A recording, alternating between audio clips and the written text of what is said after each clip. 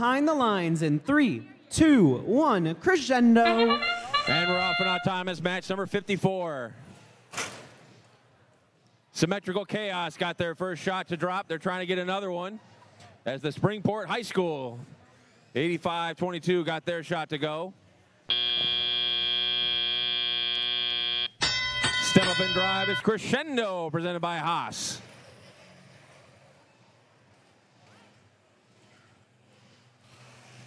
Robotic Ram shoot and score two points into the red speaker as their partners Symmetrical Chaos trying to line up at that red amp. They get that in there. They're ready for amplification on the red side. They're trying to catch up. Nice little amplification shot for five points. And that's a two-point shot on the amp.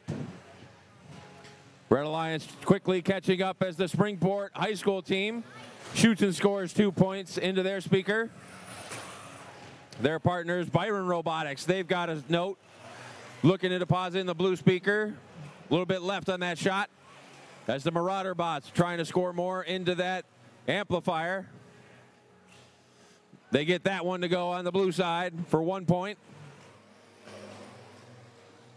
Symmetrical Chaos.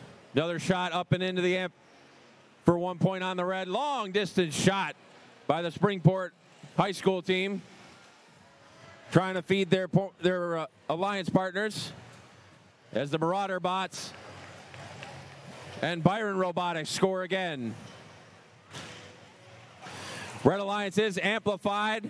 Robotic Rams trying to get one in before it ends. Time expired before they got their shot off, but that's two points there. And two points from Symmetrical Chaos. Red Alliance needs six more notes to get that ranking score. Same for the Blue Alliance. Lots of chaos down here by the red or the blue source station. As Symmetrical Chaos gets another one up into the speaker. Less than 20 seconds remaining. Less than 20 seconds remaining. Looks like Robotic Rams have lost com. As Symmetrical Chaos trying to score a point. Three, two, one, and time expires on match 54. It looks like Springport High School 8. That end game propelled the Blue Alliance to those two important ranking points. That'll keep the Springport High School team in 12th as we only have two matches left here today at the Lansing.